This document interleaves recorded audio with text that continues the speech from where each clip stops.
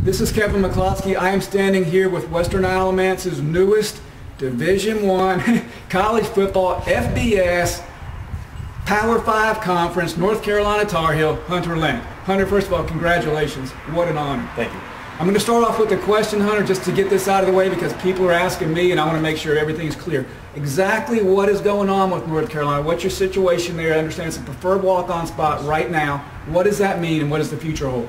Uh, well, there's a difference between a regular on walk-on and a preferred walk-on. Preferred walk-on means you'll most, not most likely, definitely get a scholarship, but the odds are better of getting a scholarship for preferred walk-on compared to a regular on walk-on. Walk-on's like just like someone that goes to the school and then they played football in high school and they're like, oh, I want to try out for the team. So you're, you're, you're going to be a true participating member of the team, and basically, if you work hard and do well, you're going to be a scholarship player yes, within sir. a few years. Yes, three times there. So that's great. Second question is, here at Western Alamance, Hunter Lent played three positions, primarily punter, also played tight end or H-back extremely well in the Western Alamance offense, and this most recently in his senior year played uh, defensive line. So people are asking me, Kevin, where's Hunter going to play at Carolina? I know it's going to be punter, but why don't you explain that process a little bit?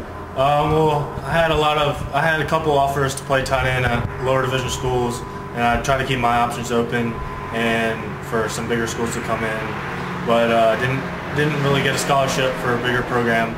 But Carolina offered me the preferred walk-on, but I would most likely be able to hold, which me and Carolina does a lot of swinging gate and uh, like trick plays and stuff, so that will kind of help out in, that aspect of the game. So maybe you could open up, use some of your other skills for catching, uh, for for holding and or, or punting on trick plays, like you said, never yeah. H-back swinging out of the pass it or a tight end. Yeah. Okay. Now let's talk about, you mentioned some other schools. Hunter's recruitment was a little bit different, people, to say the least. He chuckles, but I'm sure at one time, actually for several months, he wasn't chuckling because it was very stressful for him and his parents. Every time I see him, you know, what's going on? Things were changing. Smaller schools came calling for different positions. I remember in particular being down on the sidelines for an early game this year. Wofford was here. I believe Wofford did offer you at some point. Yes.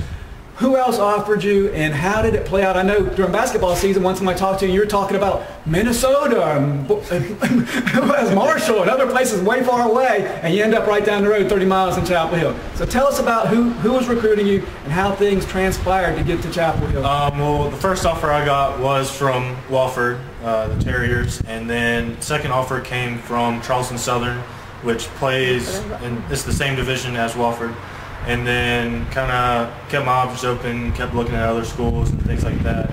And then Charleston Southern offer went away because other guys committed before I had the chance to.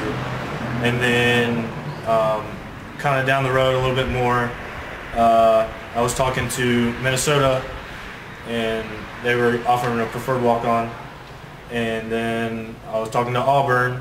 Uh, that was just going to be a preferred walk-on uh, as well but uh, things didn't really pan out with those schools. And then out of the blue comes Marshall. Um, Remember that. That was during middle of basketball season. Yeah. Dead of winter, you're going up to Marshall to, to check things out. And uh, I went up for a visit up there. They're offering a preferred walk-on. And then uh, when I was there, it was actually it was actually snowing. When I was up, uh, we were walking around campus, it was snowing. And then the thing is, before I went up there, uh, the Thursday before we went up Saturday, that Thursday I got offered from Carolina to have a preferred walk-on, and uh, just continued, and then I uh, just felt at home at Carolina, and just just the heels. Yeah, so that's going to work out well. So like I said, it was a very stressful process, and things, you know, usually people signing day, officially signing day, which we held a ceremony today where Hunter signed. Signing day is actually the first Wednesday in February, I believe. So this is drug out a little bit longer, but it worked out for the best for you. Okay, Hunter, let's shift gears for a second and not talk about football, but let's talk about academics. I understand from your mother, you're not going to get much of a break. As soon as you, not pretty much after you walk out the door, graduation at Western Alamance, you're going to be heading to Chapel Hill. Yeah. Why so early? What's going on there? Uh, well, I'm taking uh, summer school so I can get some hours in before football season starts, uh, so I can get some hours done and then don't have to kind of cram during football season. So I have some more free time and not so many classes to worry about. But uh, yeah, I'm moving in the 16th or 18th of June. And orient, I'm going to orientation the 8th and 9th of June. And then uh, school starts on June 22nd. Yeah. And so when do you actually graduate from Western? The 10th, I think. So somewhere in between all that. Now, your mother also said you've already been in contact with who's going to be your roommate, somebody from California, I believe, Yes, right? It's the long snapper. So, so sometimes that, that's going to work out well. Now, have you thought about a field of study at Carolina, or are you going to take it and let's see how things progress? Uh, kind of see how things go, but I like working with little kids and uh, I like coaching, so maybe like teaching or coaching something like that. Well, great. It sounds like you're really planning ahead, and I know it's going to work out well for you. Now, Hunter, let's reflect back on your high school career. We're, we're standing here in front of, of the field here.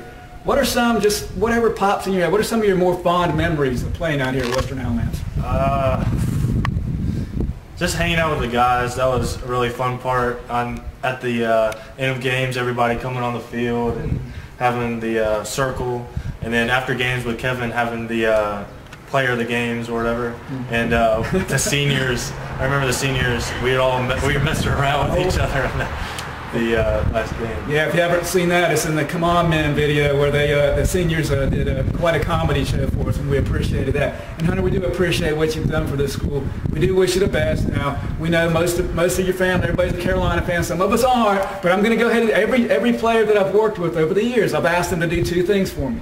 Remember what those were? You've ever seen any interviews?